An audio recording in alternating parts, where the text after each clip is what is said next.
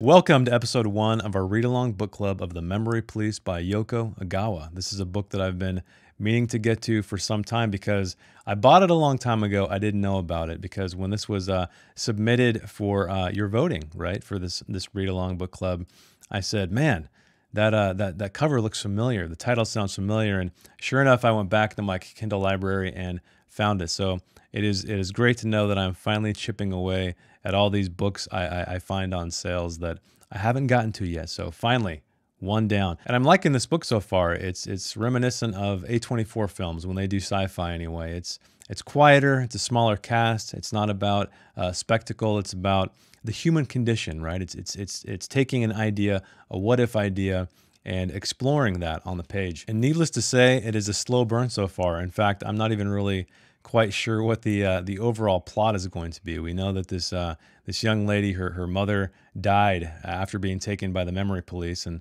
I'm guessing it's going to go that way. But wouldn't you know it? At the end of chapter eight, we ended on something that is um, quite a cliffhanger. It's illuminating, let's say. So I think it was a good starting point. But let us get into the book and start with the cover, right? Because we get a little gander. We get a little look at this um, this symbol here, the symbol of the memory police. It's described in the text, and I'm I'm glad that it was there because the um, the description of it being hexagonal but with these triangles was a little bit confusing. So it's great that we have an image.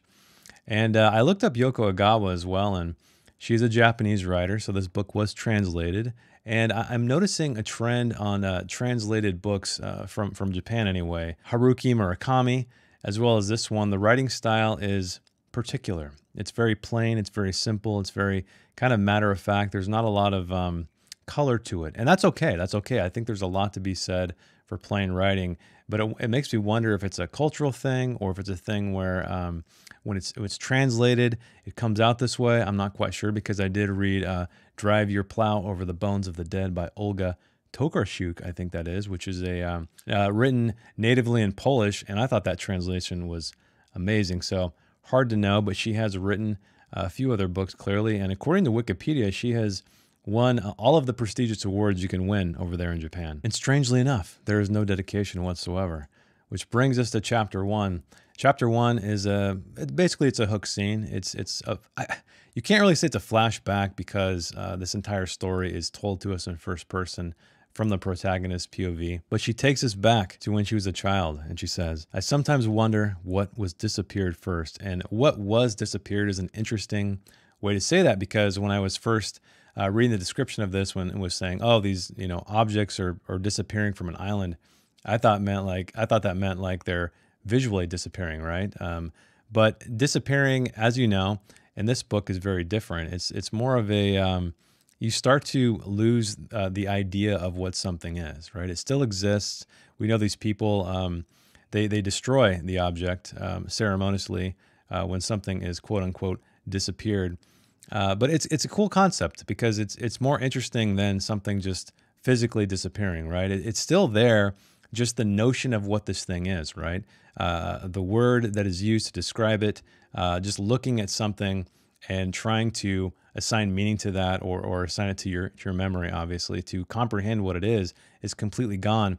And that's that's a cool concept. It's it's it's hard to almost imagine what it would be like for uh, you to lose what the concept of something was. But her mother says, long ago, before you were born, there were many more things here. My mother used to tell me when I was still a child transparent things, fragrant things, fluttery ones, bright ones, wonderful things you can't possibly imagine. And things go on disappearing one by one. It won't be long now, she added. You'll see for yourself something will disappear from your life. And we know what that something is. And I'm guessing, you know, now reading this again, it feels like this entire story is going to revolve around her mother. At least that's where the plot is building to, because I think we're about 20% into this and, you know, nothing's really happened yet. It's kind of just setting the stage. It's, it's, it's, it's doing all the world building and I'm, I'm enjoying it. It's, it's a cozy little island. But uh, she goes on to say, One morning you'll simply wake up and it will be over before you've even realized. Lying still, eyes closed, ears pricked, trying to sense the flow of the morning air. You'll feel that something has changed from the night before, you'll know that you've lost something, that something has been disappeared from the island. And then uh, her mother, we find out, works in the studio in this basement. It's not really technically a basement, but they call it a basement. But it was a large, dusty, rough floored room built so close to the river on the north side that you could clearly hear the sound of the current. And her mother is a sculptor, was a sculptor. And this is when we learn about what they do if um, it's a physical object that has been disappeared. So if it's a physical object that has been disappeared, we gather the remnants up to burn or bury or toss it into the river. Which is interesting because there's always that, I don't know the quote, where the quote comes from, but time is like a river, right? Time is this this coursing thing. And so I'm curious to see if if this river plays that part or if it's just um, coming to mind because I've, I've heard that quote before. But then she would interrupt her work to lead me back to the staircase to an old cabinet with rows of small drawers. Go ahead, open any one you like. And here in the secret place, her mother always kept hidden many of the things that had been disappeared from the island in the past. She finds a ribbon that was disappeared when she was just seven years old. And then an emerald, which she goes on to say is very, very important. And of course, here's a stamp, which we know what that is. And they uh, then they would deliver it uh, to you anywhere at all once you put the stamp on it. But that was a long time ago. Ribbon, bell, emerald, and stamp. The words that came from my mother's mouth thrilled me, like the names of little girls from distant countries or new species of plants. And that's another thing I'd like to bring up. We know that our uh, narrator is a writer. Normally, I kind of roll my eyes at the notion when a, when a writer uh, writes a story with a writer as a protagonist. Stephen King uh, does that quite often. But here it is used in a very interesting way because we have a character who her, her job is creating meaning, creating meaning from nothing, pulling words out of thin air and creating meaning in a world or in this island, this location anyway, where all meaning is being lost. So I think that that is that is a very perfect uh, uh, setup for this thing. But when I stood before the secret drawers, I felt I had to concentrate on each word my mother said. And her favorite story was one about perfume. It was a clear liquid in a small glass bottle. And she goes to try to drink it because she she doesn't know what it is. And her mother says, "No, no, no, no, don't do that. You put a drop on your neck like this." And she asks, "Why would you do that?" Uh, perfume is invisible to the eye, but this little bottle nevertheless contains something quite powerful. And in fact, this is the perfume her mother wore when uh, she and her father were courting.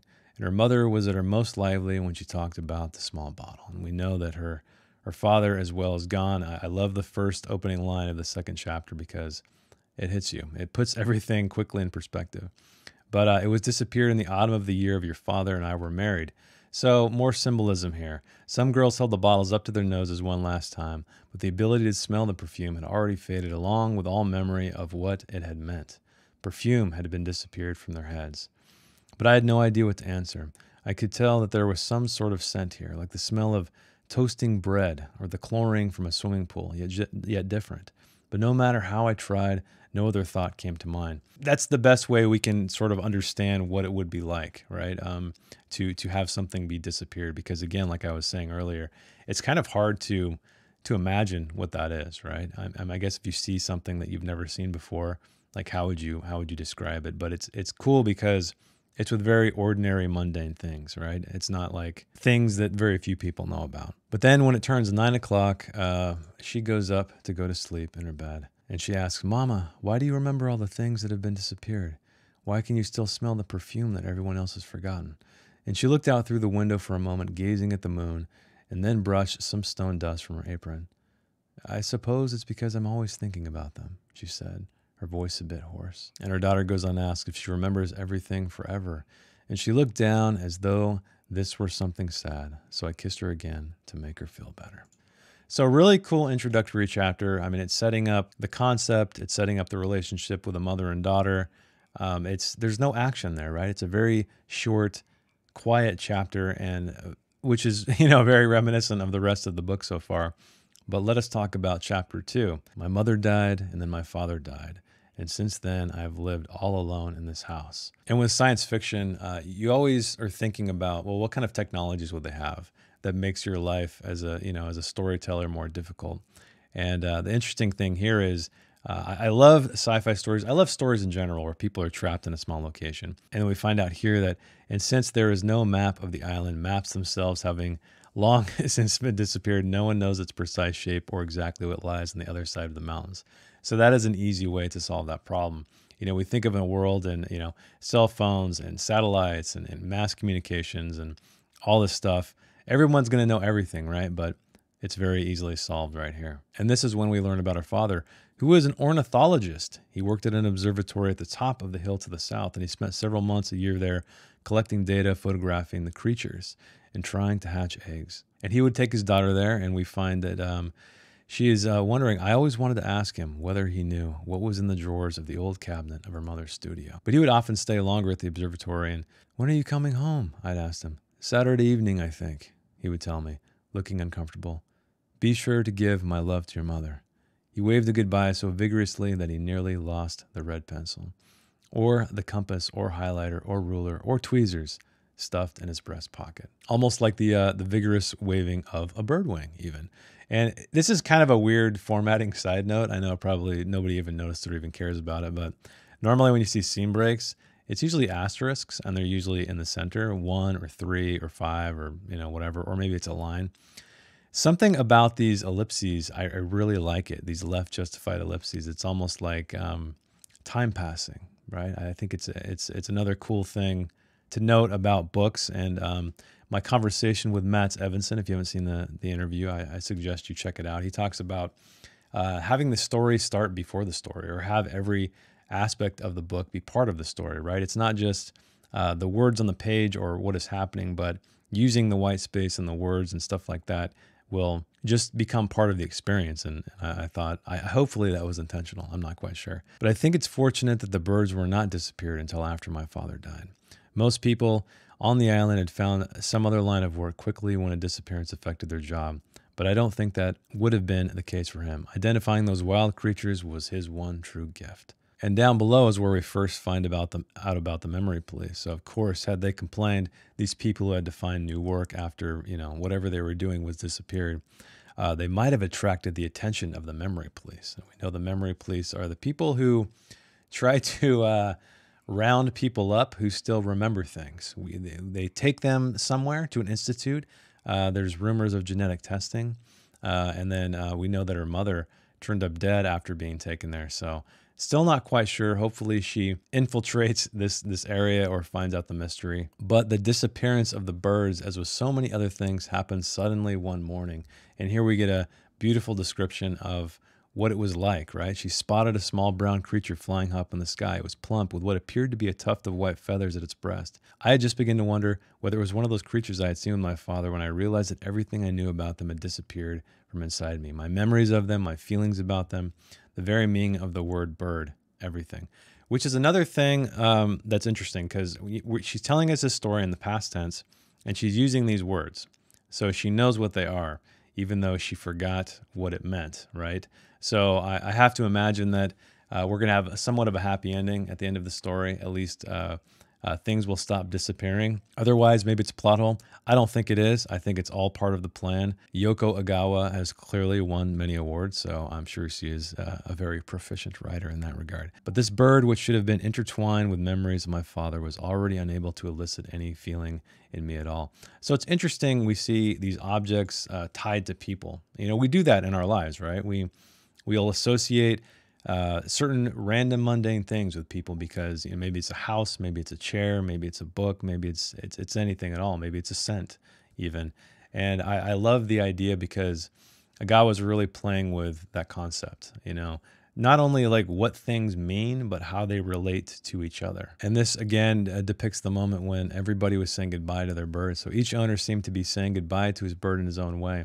Some were calling their names, others rubbing them against their cheeks, still others giving them a treat mouth to beak. So it, it's almost like saying goodbye to a loved one who died, right? Because who dies because they're not trying to hold on to it, right? They they, they know what's going to happen. They know it's inevitable. They know they can't fight off uh, forgetting about these things, and so they just kind of go about it. You know, normally saying, "Hey, this is it. I accept it." And um, this thing will be disappeared. And then in the very next scene, uh, the memory police show up. Take us to your father's office, uh, said one of the officers from the memory police, whom I found standing in the doorway, banging on the door. So uh, she says, My father died five years ago. And he says, We know, said another man. Wearing insignia shaped like a wedge, a hexagon, and a letter T. And then they go into her father's office. First, one of them opened all of the windows, which had been sealed shut since my father's death. Meanwhile, another one used a long, thin tool like a scalpel to force the locks on the cabinets and the desk drawers. The rest ran their fingers over every inch of the walls, apparently in search of secret compartments. And her mother has those compartments. Uh, when they came upon something they considered dangerous, in other words, anything that contained the word bird, they threw the item unceremoniously on the floor. But as they as they worked in silence, the only sound was the rustling of papers, like the fluttering of wings. That's a cool piece of imagery right there. But then uh, one of the officers reached for the handle on the bottom drawer of the desk, and she says, There's nothing in there that has to do with birds, she cried out. It was the drawer my father kept family letters and photographs. The officer, this one wore a badge made of concentric circles, as well as one shaped like a rectangle and another like a teardrop, continued to search. The only offending item in the drawer was a photograph of her family with a brightly colored rare bird. I no long, longer recall, recall the name that my father had managed to hatch from an egg he had incubated. And right here is where we learn of uh, their duty. So the first duty of the memory police was to enforce the disappearances. But then she realized at some point that this search was unlike the day they took her mother away. The room had changed completely. The traces of her father's presence, which I had done my best to preserve, had vanished, replaced by an emptiness that would not be filled. Which brings us to chapter three. I make my living now for my writing. So far, I published three novels, each one the story of something that has been disappeared. And we learn that the libraries aren't very popular. Reading in general is not very popular, but uh, few people have any need for novels, which makes me wonder how is she making money uh, or making a living anyway, writing books that, that nobody really cares about. But I generally begin writing at about 2 o'clock in the afternoon and keep at it until midnight, nearly midnight. Yet I rarely finish more than five pages. I enjoy writing slowly, filling each square on the paper, one character at a time. There's no need to hurry. I take my time. Uh, as a writer myself who procrastinates, who worries about my own productivity, this makes me smile. That's why I highlighted it. Uh, though I've tried, I've found no ways to fill in the voids left by the memory police. The ferry had been tied to the dock for a very long time, and, and it is now completely covered with rust. No passengers boarded. It can no longer take them anywhere. It too is among the things that have been disappeared from the island. And we, we learn about this man here. Her nurse's husband had once served as a mechanic on the boat. Uh, he's a cool guy. She she brings him things. She always brings him his book, her books. Uh, she even made him a sweater. But now he lives on the abandoned boat because there's nothing left to do. But they sit down and they talk about writing. And uh, he says, There aren't many people who can sit all day at a desk and make up such complicated things right out of their head. If your parents were here to see you, they would be so proud. But she says, humbly, a novel isn't as marvelous as all that. To me, taking apart a boat engine, and boat engine, fixing it, and putting it all back together again is much more mysterious and wonderful. So uh, she doesn't believe that what she does has has really any value or that it's difficult at all. She she views the world in a different way, right? She views the things she can't do as as marvelous. Uh, but I, that's what we do, right? You know, when when somebody can't play an instrument, we all look upon them with awe, or those people do anyway, and and they just can't conceive of, of, of how they could do such a thing, even though they themselves could be very good at something. But she graciously always gives him one of her first copies of each one of her books, although he doesn't read them. And I love this because what does he say right here? I couldn't possibly say, he said, if you read a novel to the end, then it's over. I would never want to do something as wasteful as that. I'd much rather keep it here with me, safe and sound forever. That's one thing I've noticed about this book. There's these um, there's so many bits of little wisdom in it you know these these these little lines of dialogue that really just give you pause and make you think and they're, they're almost like a, a parable in themselves and I, I i love that about this book so far. But leaving the harbor behind her next stop was the observatory at the top of the hill and silence fell around us all as though we were steeling ourselves for the next disappearance which would no doubt come perhaps even tomorrow. And so it was that evening came to the island which brings us to chapter four on Wednesday afternoon, on my way to take my manuscript to my publisher, I had an encounter with the memory police. And we find out it was the third time since she'd seen them since this month, and they seemed to grow a bit more brutal each time. In 15 years since they first appeared, uh, in those days, it was just becoming obvious that some people, like my mother, did not lose their memories of the things that had disappeared, and the memory police began taking them all away. The truck stopped in front of a building that housed a dentist's office, an insurance company, and a dance studio. Ten men from the memory police jumped out and hurried into the building. And this is when they're they're taking people out, right? They're they're holing up in these safe houses, trying to not be taken by these memory police. And that is what she's witnessing right here. A short time later, the sound of footsteps could be heard coming from the building, the forceful, rhythmic boots of the memory police mixed with quieter, more uncertain steps. Then a line of people emerged two middle aged gentlemen, a woman in her 30s with dyed brown hair, and a thin girl barely in her teens. It seemed they had been trying to bring with them as many useful items as they were able to carry. And now they were being marched out of the building with weapons at their backs.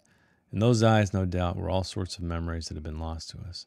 But they were loaded one after the other into the back of one of the trucks, and the guns trained on them the entire time. The little girl, she falls out, and, and uh, our, our narrator cries out before I could stop myself and drop my envelope. The pages of my manuscript scattered all over the sidewalk, and the other bystanders turned to look disapprovingly. They were afraid of creating a disturbance, of giving the police reason to notice them too. But after the aftermath, she stood waiting at the door of the building, uh, now tightly shut, and wondered how the officer's hand must have felt to the young girl as they pulled her into the truck. Which brings us to a new scene. I saw something terrible on my way here, I told R, my editor, in the lobby of the publishing house.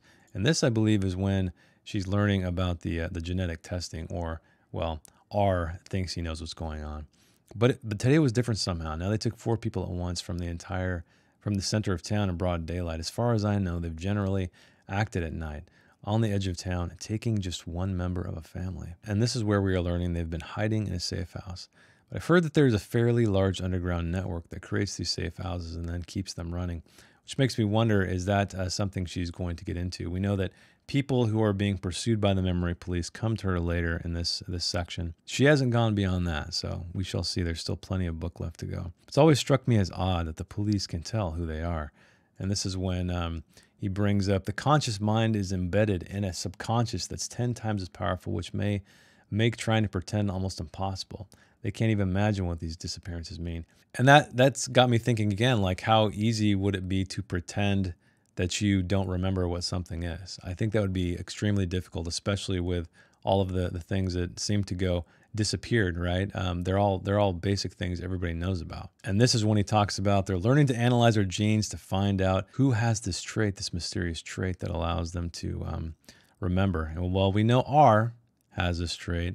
We know our mother has this trait, if it is a genetic trait at all, which means maybe she has an ability to remember. But she asks, How they get her genes? And he responds with, You just drank from this cup, didn't you? R said, stubbing out a cigarette and lifting my coffee cup to eye level. I nodded. They could take this and isolate your genetic material from your saliva. So, very easy to do. And she continues to ask why they are taking people away. The island is run by men who are determined to see things disappear. From their point of view, anything that fails to vanish when they said it should be is inconceivable. So, they force it to disappear with their own hands. So, very totalitarian government. Uh, clearly, like I said, this book is obviously inspired by 1984 with a thought police, but it seems strange that you can still create something totally new like this just from words on an island where everything else is disappearing. So we are told literally from a character what we're thinking ourselves and, and how um, she is very unique in this situation, that she can just pull things from thin air, right, when everything else is disappearing. Which brings us to chapter five. And autumn passed quickly. The crashing of the waves was sharp and cold, and the wind brought the winter clouds from beyond the mountains. The old man came from his boat to help me prepare for the cold weather. They talk about that it hasn't snowed in a very long time, and she just finished knitting a sweater and she'd like him to try on. I believe it was longer in the sleeves and tighter around the neck, but he seemed pretty okay with it. And this is when we learn about um, her new novel she's working on. She's hiding away at home working on her new novel. This one was about a typist who loses her voice. And what was kind of cool, I didn't quite get what's happening here. It seems really obvious in hindsight because the font changes, but we actually get uh, snippets or, or, excerpts of what she's writing. And, and the first one I really enjoyed because it meanders. It doesn't feel like it's going anywhere. But she notes, I myself wasn't sure what would happen next. The story seemed simple and pleasant enough, but I had a feeling it might take a frightening turn. Does that mean she's going to be able to control reality with her writing? I don't know. That's my guess. We'll see where it goes. And this is when she's working well past midnight and she thought she heard someone knocking on the glass off in the distance.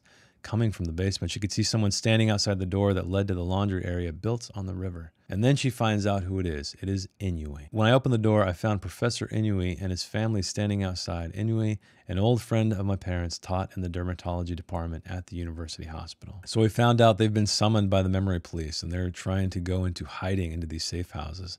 And uh, she's been ordered to present herself at the Genetic Analysis Center. Her whole family is to move to the center, and she's trying to find out where it is, but they have no idea. But she remembered then what R had told her, so it wasn't just a rumor. Genetics were, in fact, the way they were finding these people. But they are offering to triple his salary if he goes.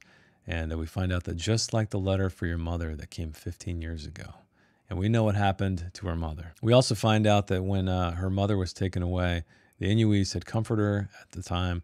She was just a little girl, and their daughter was a baby in her mother's arms.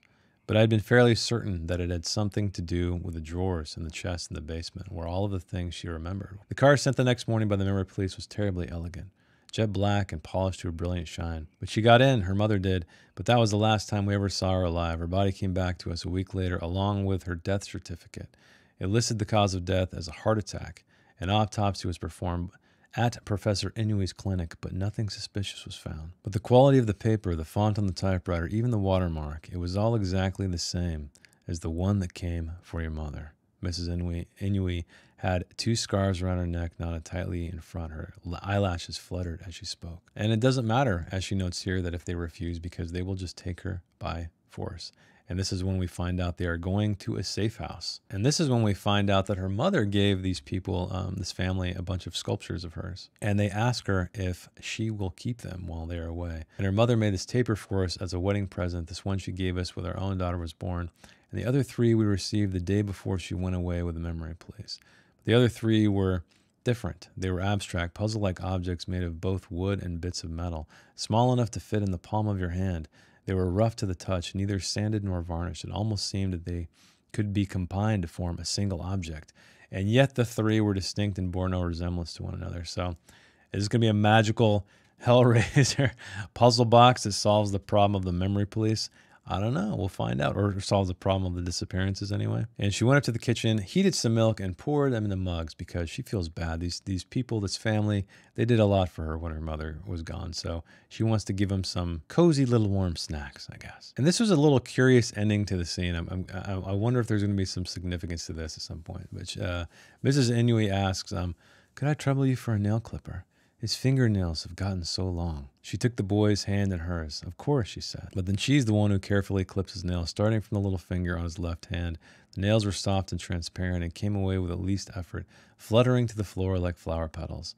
Oh, wow. So I didn't pick that up uh, before, but now we know she is definitely seeding this stuff, which is awesome uh, because we know the very last thing that uh, people that goes disappeared in this in this group of chapters are the roses, and there's flower petals everywhere. So I love going through this twice. Good stuff. And when she finished, the sky blue gloves were waiting on the table, and that is how the Inui family vanished. Which brings us to chapter six. I climbed the staircase so narrow I wondered how I'd get past should I meet someone coming down. So this is her story. I don't know why it's not in the courier font like it is on my Kindle when I read it here maybe the web can't display it very well, but this entire section is very bizarre, and it's uh, it's the book she's writing, and she's talking about a lighthouse. She's talking about I went with an older cousin who licked my cuts one by one. More bizarre stuff, but she's uh, going through this place which she isn't quite sure what it is, but. I would have been about seven or eight years old, dressed in a pink lace skirt my mother had made for me. And she hears a sound, and suddenly, as it grew louder, the smell of oil grew stronger, though at the time I was not sure I was smelling what I was smelling. At first, I thought it might be something poisonous that was floating up through the tower. But now she is in a clock tower of a church. You can see how the story is kind of weaving and finding its way. It's, it's somewhat lost, and which is cool because a lot of times when you're writing, that's what happens. You're just sort of uh, figuring it out as you go, and that's very representative sometimes of, of where plot lines might take you.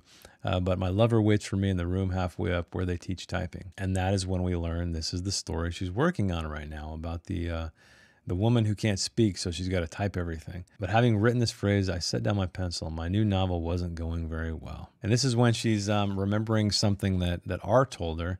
Uh, you can't write with your head. I want you to write with your hand. Not sure what that means. I, I, I'm guessing that means just don't think, let your subconscious take over. Maybe it'll have some more meaning later on. But in bed, I found myself thinking about the Inui family. Since that night, I had passed the faculty house at the university any number, any number of times. And this is when, yeah, she stops by Uh, but it seems like nobody cares, right? It's it's just business as usual, essentially. Yeah, no one wondered where the professor had gone or lamented lamented his absence. And then when she opened her eyes the next morning, something else had disappeared. It had grown colder, and there was frost in the garden. Everything in the house, my slippers, the faucet, the heater, the rolls in the bread box, was chilled. So a very very cold time. This is when she sees these these uh, petals. So I could hear the faint sound of flowing water, and above it, the sound of footsteps, adults and children together running toward the alley in the back, and the dog next door barking, the unsettling sounds I knew from experience of a morning when something had disappeared. There they stood, all in a group the former hat maker, the unfriendly couple from next door, the dog with brown spots, and some school children with their backpacks.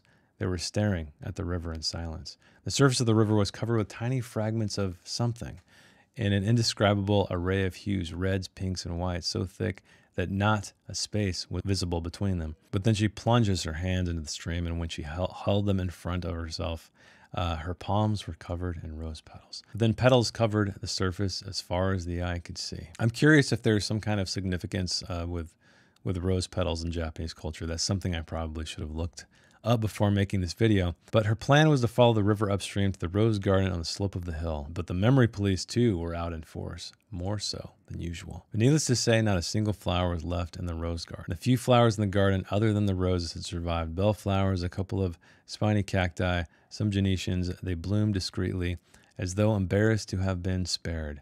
The breeze seemed to discriminate, choosing only the rose petals to scatter. Hands thrust in my pockets, I wandered across the hill as though walking through a cemetery of unmarked graves.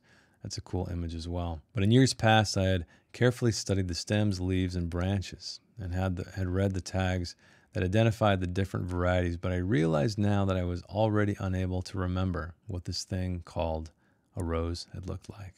So that has disappeared, which brings us to chapter 7 Already on the second day, people who had raised roses in their gardens came to the river to lay their petals to rest. So more personification here. Uh, it's it's interesting to see people take these. Before it was birds, right, where we learned about that, and that makes more sense because at least they're they're conscious creatures, at least as far as we understand.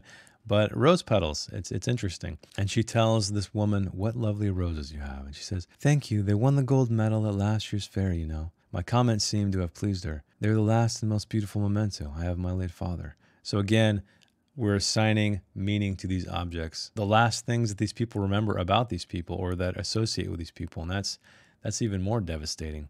In the three days' time, the river had returned to normal with no visible change in the color or the level of the water. I wonder how the wind could tell the roses from all the other flowers, I said, as I rubbed my finger along the rail, dislodging some flakes of rust. There's no way of knowing, he said. The only thing we can know for sure is the roses are gone. He was wearing the sweater I knitted for him and his work pants from the days as a mechanic. But what's to come of the rose garden? And that's nothing for you to worry yourself over. Maybe some other flower will bloom there, or they'll plant fruit trees, or turn it into a graveyard. And we learn this man, he, he doesn't like to go out much, except, except, except when one of her books comes out. Then I want to make sure they had put it on the shelf in the library, of course. And she goes all the way up there to see her books. And a whirlpool of rose petals had formed around the motionless propeller of the boat. They were wilted and wrinkled and traveling downstream to salt water. Their color and luster had faded, and they were now nearly indistinguishable from the seaweed and the fish bones and trash, and their fragrance had dissipated. What will your gardener friend do now? I asked. He's already retired. At our age, there's no need to look for another job, so there's nothing to worry about with the memory police. He can just forget about tending those roses with so many other things to occupy him cleaning his grandchildren's ears or plucking fleas from his cat all sorts of things. And this is when the narrator brings up something that is probably on all of our minds as we read this. I mean, things are disappearing more quickly than they're being created, right? And he nodded and furrowed his brow, like someone suffering from a headache. What can people on this island create? I went on. A few kinds of vegetables, cars that constantly break down, heavy, bulky stoves, some half starved stock animals, oily as cosmetics, babies, the occasional simple playbooks, but no one reads. If it goes on like this and we can't compensate for the things that get lost, the island will soon be nothing but absences and holes, and when it's completely hollowed out, will all disappear without a trace. Don't you ever feel that way? I suppose so, he murmured, repeatedly pushing up the sleeves of his sweater, and then pulling them back down in a manner that seemed more and more agitated. Maybe because you write novels, you come up with these extreme ideas. So He's not even thinking about this. She had to bring it up to mind. But not one memory of the ferry remains here, I said, glancing up at him. It's nothing more than a floating scrap of iron. That doesn't make you sad? It's true. I know that there are more gaps in the island than there used to be. When I was a child, the whole place seemed, how can I put this, a lot fuller, a lot more real. But as things got thinner, and more full of holes, our hearts got thinner too, diluted somehow. I suppose that kept things in balance. And even when that balance begins to collapse, something remains, which is why you shouldn't worry. And then dusk was falling over the sea. And no matter how long I peered into the distance, I could no longer make out the petals. Another thing that disappeared. I like how these uh, chapters are ending. I, I, wished I would have paid more attention uh, the first time around, jotted notes, because you can see a pattern emerging, right? Things are disappearing with every chapter. And now, chapter eight, we are back to her book. It will soon be three months since I lost my voice. Now nothing passes between the two of us except by means of the typewriter. And what should I get you for your birthday? He asked one day, and I lowered my eyes to his knees, where my typewriter was usually perched. And she would like an ink ribbon. The reason why she wants that, even though he notes it's not very romantic, is because she's worried that they'll disappear and we won't be able to talk anymore. I understand. I'll go to the stationer's and buy every last one they have. And this is when she remembers about how he taught her to change one of these ribbons when she was back at school. He says, Before you go home today, he told us, you'll know how to change a typewriter ribbon. Watch carefully. And he meticulously goes through this process, but still, she was never able to learn how to change a ribbon in his class. Inevitably, it would get tangled and nothing would appear on the paper, no matter how much she typed. But now she's a pro at it, clearly because it's the only way she can speak. Since I started using the typewriter in place of my voice, I use up a ribbon in about three days. But I no longer throw away the old ones. Somehow, I have the feeling my voice may come back one day if I study the letters imprinted on the used ribbon. And that's another interesting thing. She's not using a computer, so it makes you wonder if she's writing about something in the past or, or when does the story take place? I guess we never really know. I know it is sci fi technically, but it doesn't have to be the future.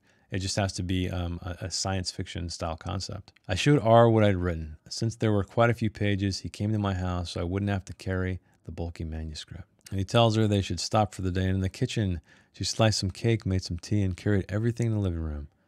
Is this your mother? He asked, pointing to a photograph on the mantel. It is. She was very beautiful. And you look a great deal like her. No, my father used to say that the only thing I inherited from my mother was my good teeth. Teeth are important. My mother always kept dried sardines wrapped in newspaper on the desk in her studio, and she would snack on them as she worked. If I got fussy in my playpen, she would slip one in my mouth to quiet me even before I had my teeth. I still remember the way they smelled mixed with the odors of sawdust and plaster. They were awful, gritty things. And speaking of memories and speaking of meaning, right, she notes that the only R I knew was the one who read my manuscripts. I knew nothing else about him, not his childhood, nor his family, how he spent his Sundays, his preference in women, or his favorite baseball team. When we were together, he did nothing but read my writing. And he asks, do you still have many of your mother's works here? I think she must have hidden some of them just after she received the summons from the memory police. And this is when she goes into the uh, the basement, quote unquote basement. But the front of the house is along the road to the south, but in the back to the north, it faces a river. The stone foundation was set down into the water with a house built on top of it. So the basement is actually below the level of the water. And he asks if she will take him there, and she does. But after my mother died, my father couldn't bear to come here, so it's falling apart. And he goes, R, and he examines some things, odds and ends, cabinets full of my mother's tools, the five sculptors entrusted to me by the Inuis that were lined up on the top shelf. What's this? he asked, coming at last to the cabinet with my many small drawers under the staircase. It's where my mother once kept secret things. Secret things. Yes, I'm not quite sure how to explain it. Lots of different things, all unfamiliar to me. Well, there's nothing left. When I was little, each drawer held one item. When she was taking a break from her work, she would show me the things and tell me stories about them. Strange stories like nothing I'd ever read in my picture books. I wonder why they're empty now. I don't know. But, but at some point, I, I realized everything was gone. It must have happened in the confusion when the memory police took her away. I think she must have found a way to dispose of them between the time they sent her the summons and her surrender. And this is when we learn about the emerald. The object my mother told me was most precious, I said after a long pause was an heirloom from her own mother that she kept in a drawer on the second row right above her. A little green stone, tiny and hard, like a baby tooth had just fallen out. I think I remember it that way because my own baby teeth were falling out about then. Could the green stone have been called an emerald? he added. Em-er-ald, I murmured over and over. Of course, that was it. Em-er-ald. I'm sure that's right, but how did you know? He said nothing for a moment. Instead, he began opening the drawers again, one after another. This one held perfume, he said. There's still some here. He gently pressed on her back, forced her closer. Can you smell it? I'm sorry, I sighed, shaking my head. Don't apologize, he said. It's very hard to recall things that have disappeared. He blinked and closed the perfume drawer. But I remember, he added, the beauty of the emerald and the smell of the perfume. I haven't forgotten anything. Ooh, what a great place to end the story so far. Uh, R remembers something. So he has this genetic trait, if it is a genetic trait at all. We're not quite sure yet. So I'm really curious to know what you think. Let me know in the comments. Are you enjoying the book so far? Was there something that I didn't cover that you would like to talk about in more detail? Also, there's a Discord to join with a channel dedicated to this book, as always. But yeah, I'm really enjoying this book so far. It's quiet, it's cozy, it's deliberately paced, it's a slow, slow burn. And yet I'm intrigued. I hope you are too. So I will see you next week with chapters 9 to 14 of The Memory Police. Thanks for hanging out with me. Thanks for watching. Thanks for reading along with me. And I will see you in the next one. Bye.